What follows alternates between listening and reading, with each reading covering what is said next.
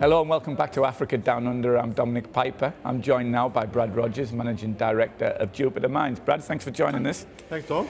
Uh, now, we've talked a lot this week at Africa Down Under about uh, African uh, risk and companies not perhaps not being able to deliver the same in the same rate as uh, Australian-based companies. But I look at Jupiter and you're a company that just keeps delivering to forecast, to guidance, and have got a strong, consistent production platform. How, how do you manage to achieve that?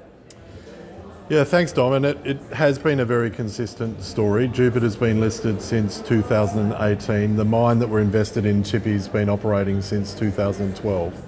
And it has been very consistent. We've averaged 3.4 million tonnes per annum of manganese ore sales over the last five years. This year we've just closed out at 3.55, so a little bit better than that average, but still very consistent on production, on sales, uh, and, and cost performance has been solid there as well. So that's really down to the quality of the asset. It's one of the best manganese mines in the world, and also the quality of the management team at site there. So all, all credit to them, I guess, and I get to take the glory here.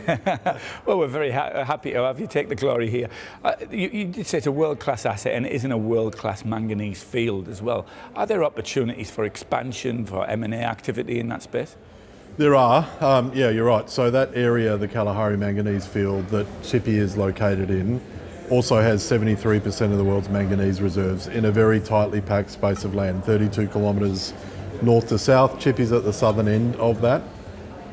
You've got mines there uh, that have very long mine lives remaining that are already operating. Tshipi is one of those, has 100 years of mine life remaining and it's already been running for 12 years. So there are a few other mines in and around us. That is distinct from the rest of the manganese world where you have some long life mines that will be coming to end of mine life in the next, say, 10 years. And so we like that thematic. We like um, that supply side contraction that's going to favour long life mines in South Africa like ours and like some around us.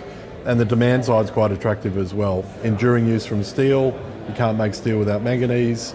Manganese is also a battery uh, mineral. So nice demand outlook, a supply side contraction outside of South Africa that's going to favour mines like ours and a few others around us. And so, yes, there are opportunities we think over this coming few years period, and that is our strategy to grow through M&A against that backdrop. We think that that is really going to favour um, opportunities for South African mines, and we're a South African miner. Notwithstanding we're, we're listed here, our strategy is entirely focused on South African manganese. It's what we know and do well, and that area is really the heartland for manganese opportunity over the next few years. Is, it, uh, is there a risk inherent in, in, in looking to expand within South Africa? We hear a lot in, in the last decade of the, of the risks in South Africa. Uh, obviously, a new government uh, this year. Do you see? Are you, are you, seeing more opportunity in South Africa, more promise than than there was perhaps a couple of years ago? Yeah, so I think um, the runs are on the board for Jupiter and for Tshipi. We've been there for 12 years now, so there are risks anywhere in the world that you'd be looking to operate, and there are risks in South Africa. But we've been able to trade successfully through those risks. The risks that we face as a business in South Africa have been power supply, which has been intermittent, and I think that's well known, and bulk logistics, transport for ore, which is constrained. Rail is constrained in South Africa. So those are really practical challenges that we've dealt with and dealt with successfully, hence the performance that we've spoken about. Uh, the new government that you mentioned is being viewed with a lot of positivity and, and hope. Uh, within South Africa and outside of South Africa, and we see it that way as well. Obviously, um, there needs to be delivery against that that hope, but um, yeah, that, that that's been seen as an opportunity to fix some of those issues, and that there are well-intentioned people in, in a new government uh, of unity that will be able to get on with doing those things. You mentioned uh, earlier the, the manganese market and the, the, demand side, obviously dominated still by steel, but yeah. uh, manganese goes into lithium-ion batteries, uh, and the EV evolution is uh, maybe not, if not stalled, is, is sort of idling at the yeah. moment. Um, tell me, uh, are you looking to pursue a, a downstream strategy? or a downstream value-added product that you can produce from your manganese? We are, uh, yeah, we are. So that's part of our strategy, and our strategy is to take what we call low grade manganese ore, 30 to 32% contained manganese ore, which we produce anyway at Tshipi as a byproduct. uh, to our main 37% ore production, which goes into the steel market. So we will keep selling all of that 37% material into the steel market. But the work we're studying at the moment is taking some of that lower grade ore that is sometimes saleable into the steel market, but often not. And so we're stockpiling it as waste, zero costed on the stockpile, lots of it. That's ideally suited to conversion to battery grade manganese, which is 31.5% manganese contained. So it's right at the head grade you need.